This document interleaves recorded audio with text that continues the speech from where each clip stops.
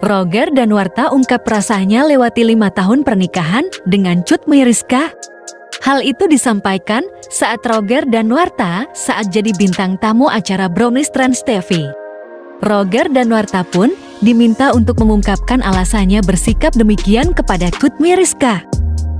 Kenapa aku bisa tatapannya sampai segitunya? Sebenarnya nggak sadar juga sih sampai segitu, ujarnya di Brownies Trans TV.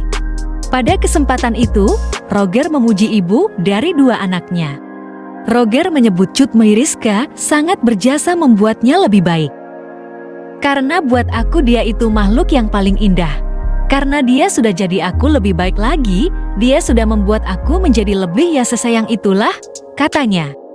Di perayaan lima tahun pernikahan mereka, Roger dan Warta memberikan hadiah ponsel ke Cut Meiriska. Sikapnya itu dianggap netizen sebagai suami idaman. Namun Roger tak sependapat dengan pujian dari netizen.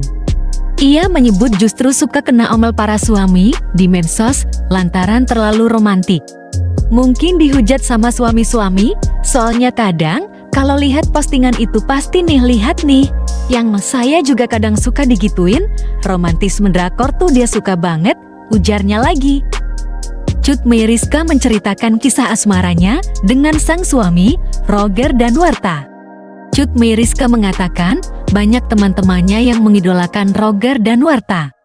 Namun saat ini, Cut Meriska mengaku sudah tak khawatir lagi karena sudah percaya dengan sang suami. Karena sudah semakin lama, was-wasnya semakin berkurang. Kalau awal-awal iya sih was-was banget, ke sini-sini enggak. Karena sudah tahu Roger kayak gimana, jadi lebih mengenal lagi dan tak khawatir, ujarnya. Ibu dua anak ini mengungkapkan jika dulu dirinya sangat posesif ke Roger. Bahkan ia terang-terangan mengakui pernah menyadap WhatsApp suaminya. Akan tetapi kini, Kut Miriska sudah tak takut jika suaminya izin pergi.